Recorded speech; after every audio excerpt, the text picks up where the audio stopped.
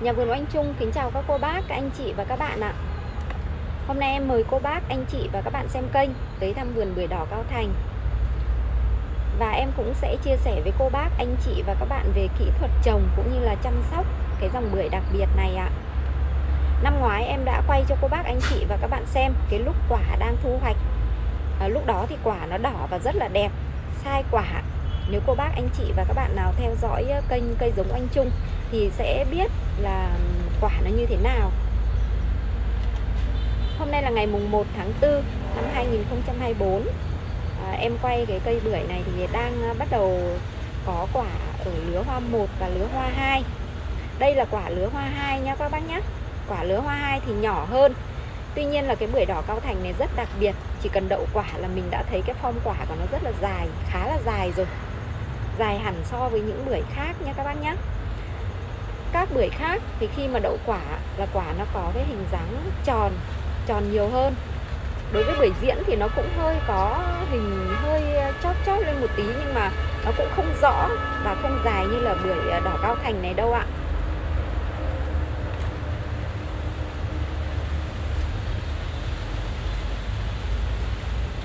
Hiện tại thì trên cây đang có quả ở cái lứa hoa 3 Tuy nhiên là hoa nó mới rụng và quả nó bé xíu cho nên ờ, có thể là em quay cô bác anh chị và các bạn sẽ không nhìn thấy. À, mai kia khi mà quả nó lớn và dần chuyển màu em ờ, sẽ quay một lần nữa để giới thiệu với cô bác anh chị và các bạn.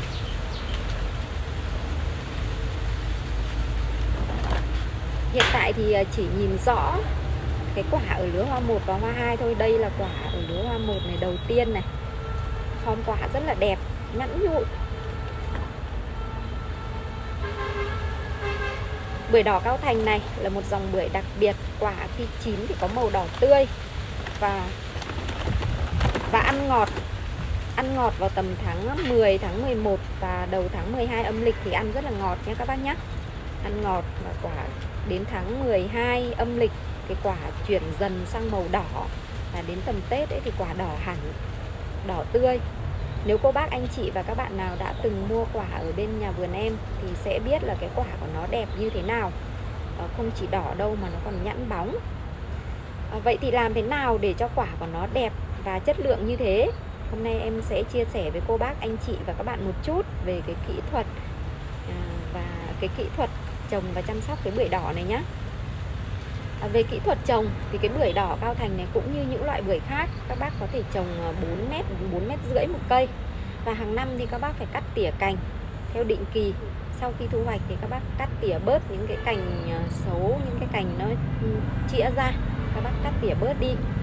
À, khi trồng thì cô bác anh chị và các bạn à, đào hố như là trồng những cây ăn quả khác. Mình lót một lớp phân chuồng hoai mục xuống dưới và mình lót một lớp đất màu lên trên trồng bình thường đối với bưởi đỏ cao thành này thì chăm sóc thì ờ, cũng khá là đơn giản. Quả khi lớn một chút thì cô bác anh chị và các bạn ờ, nên bọc vào. Trước em cũng đã chia sẻ với cô bác anh chị và các bạn rồi tại sao mình phải bọc quả vào? Khi mình bọc được cái quả bưởi này vào ấy thì ờ, những cái cành xung quanh những cái cành xung quanh hoặc những cái lá nó khi mà nó đung đưa ấy, nó không bị chạm vào cái quả cái vỏ quả của mình. Thì cái quả của mình nó sẽ không bị xước không bị xước một chút nào cả nha các bác nhé quả sẽ rất là bóng. À, còn đây là bưởi quả tròn này. Bưởi quả tròn này thì nhà em ờ, có cả bưởi đỏ và có cả các dòng bưởi khác nữa. À, đối với bưởi khác thì quả nó tròn hẳn tròn vo như thế này nha các bác nhé khác hoàn toàn so với bưởi đỏ cao thành ạ. Bưởi đỏ cao thành thì quả khi mà, quả khi mà đậu quả rồi thì mình sẽ thấy là quả nó dài ra. Còn riêng các loại bưởi khác thì nó tròn to. Chỉ cần nhìn qua là cũng đã thấy rồi.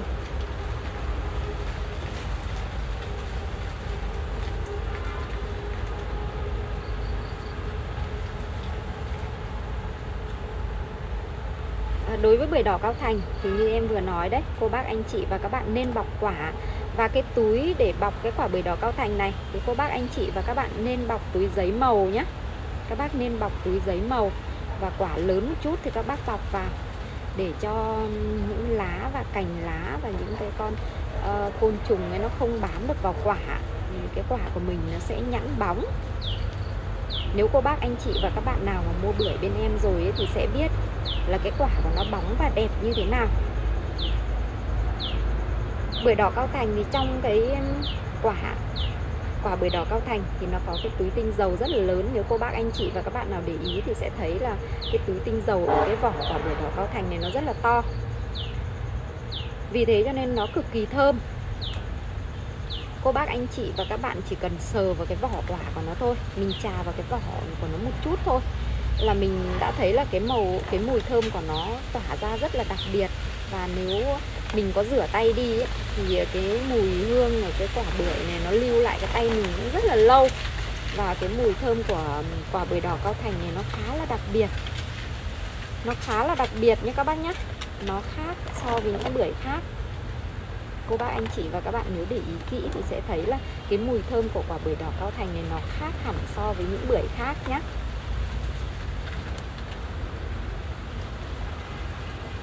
và nó thơm, cái mùi thơm nó lưu lại rất là lâu, chỉ cần mình sờ tay vào thôi là cái mùi thơm của nó lưu lại ở tay mình rất là lâu, kể cả rửa tay đi, thì nó vẫn còn lưu lại.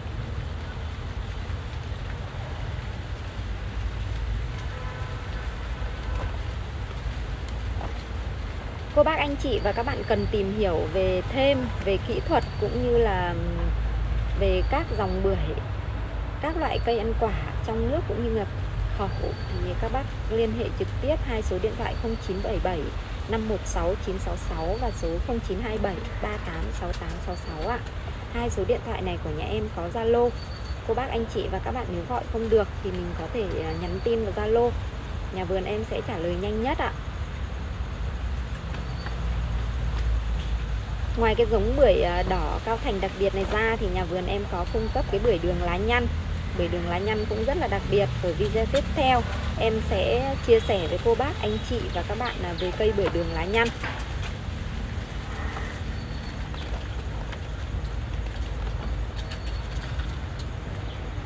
Em xin phép dừng video tại đây. Chúc cô bác, anh chị và các bạn à, xem kênh như vui vẻ.